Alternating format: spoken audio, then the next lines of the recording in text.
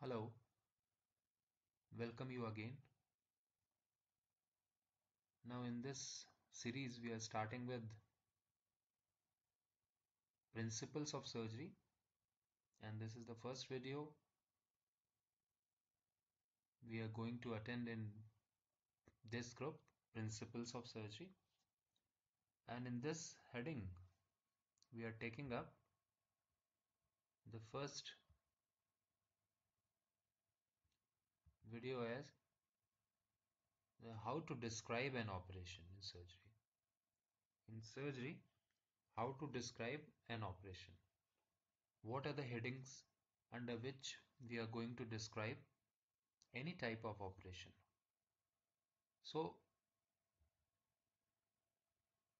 whenever we are describing any surgery or procedure that has been done over any organ, we'll have to remember these four important things.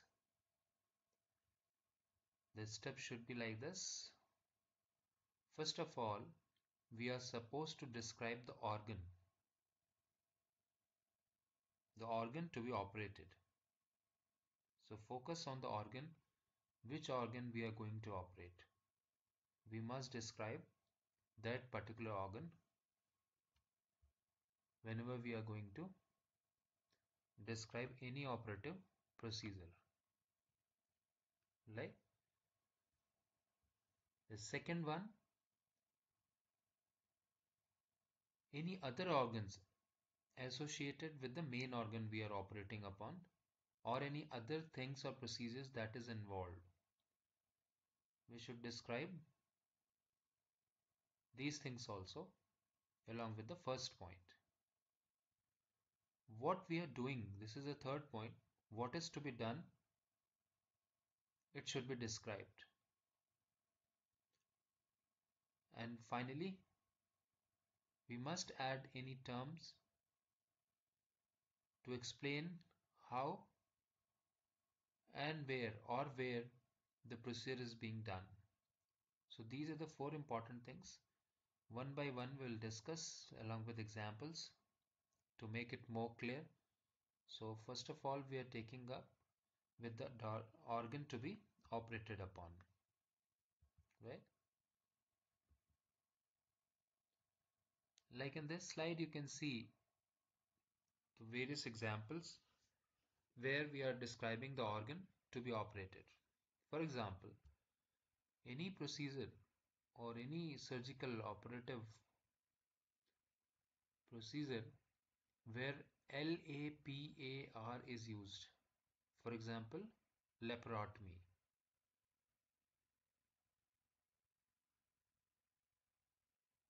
Abdomen. It means something related to abdomen. Lapar. Right? So prefix is lapar. Similarly, laparus.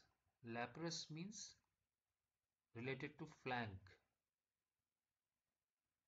right? Cysto. These are the prefixes we are going to use with the operative terminology. Cysto. Cysto is related to bladder. Urinary bladder. Then pyelo. Pyelo is related to any procedure that is being done over the renal pelvis. Here we are focusing on the organ to be operated. Then nephro.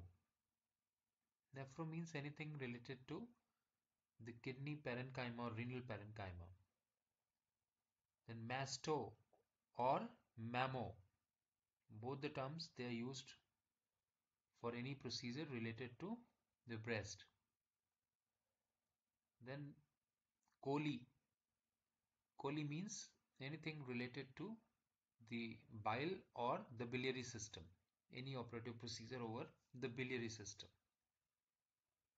Then col or colon this is related to large bowel like colostomy right?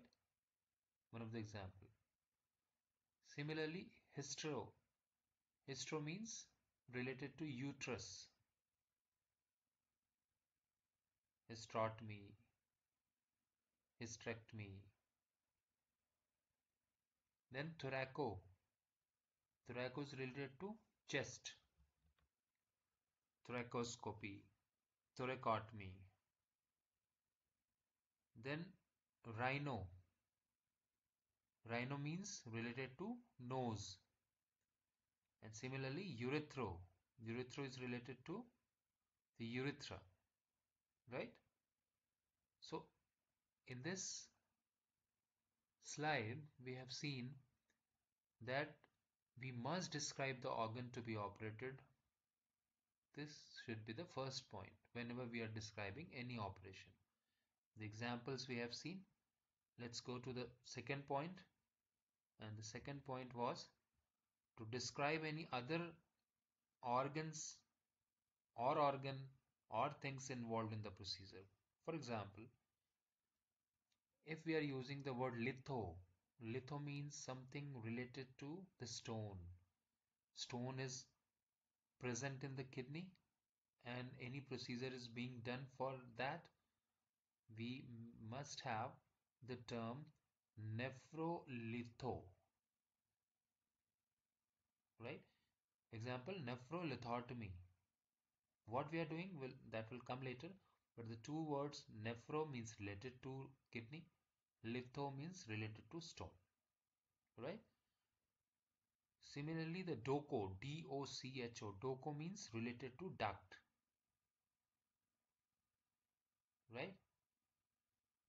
For example, choledocholithotomy means opening up the bile duct.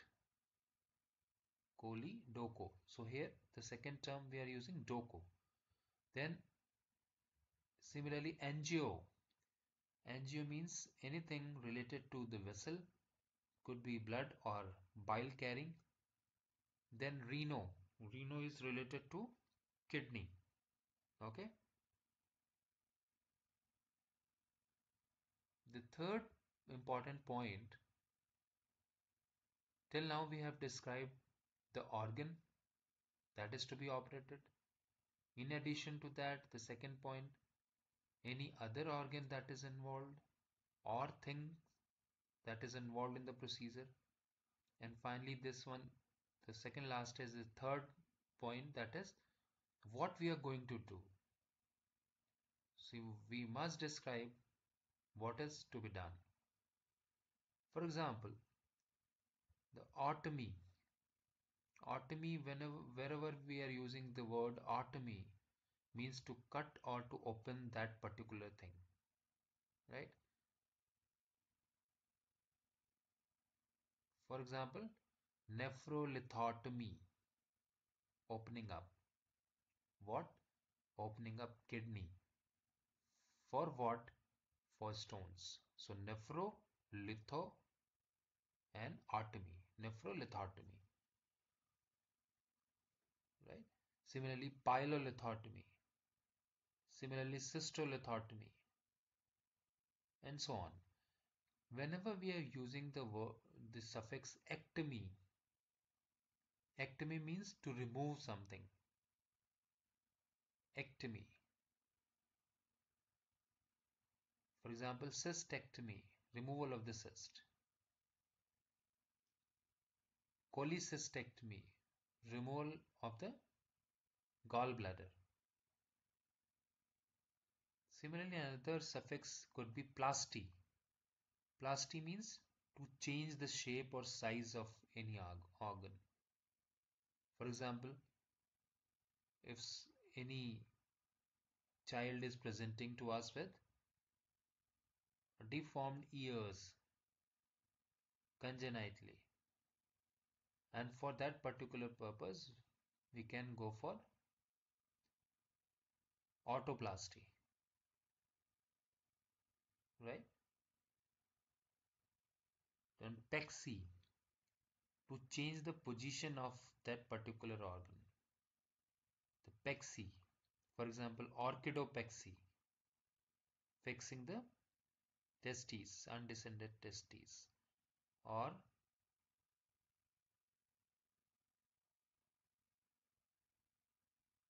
ectopic one. We are fixing somewhere. Pexy. Then raphe.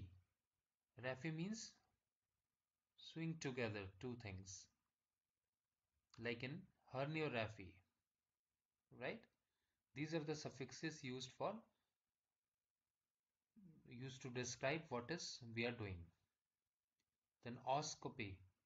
Oscopy means to look into. Ostomy. Ostomy means to create an opening in, to create an stoma, like ileostomy. Ileum plus ostomy. Right? Colostomy.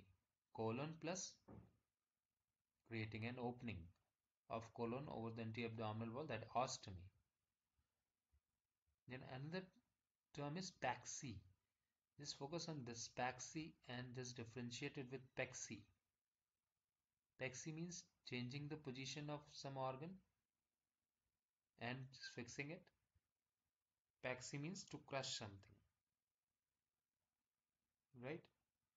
Then graphy or gram. These are taking the images of used in imaging study. The procedural task where we are taking the images of the organ. That pyelography example or pyelogram. Right? IVU, urography, intravenous urography. So these are the examples of the procedures, what is to be done. We must describe. And finally, the fourth point that is if there is some additional term, we must add it to qualify or to explain how or where the procedure is done. For example, okay, we are doing nephrostomy. Ostomy means to create an opening here. Nephro means related to kidney. But how we are doing it? Percutaneous.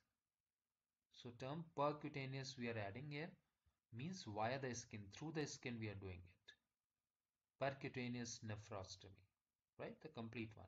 This is operative procedure. Then another term could be trans. Trans means across something you are traveling throughout. That across or through. This is trans. Right? Can you think of any any operative procedure that is starting with trans? Okay, you must write in the comment section. You'll again come back to it. Then similarly the antegrade. Antegrade word is related to forward. Right? Antegrade urography or retrograde backwards. Retrograde urography RGU retrograde urography. This is used for stricture urethra right? So these are the terms we must use and these are the four important points we must take care whenever we are describing any operation in the case sheet or in our day-to-day -day routine practice or life right? Four important points. Quickly. First was describe the organ. Second add any other organ or things that is involved in the procedure. Third what is to be done.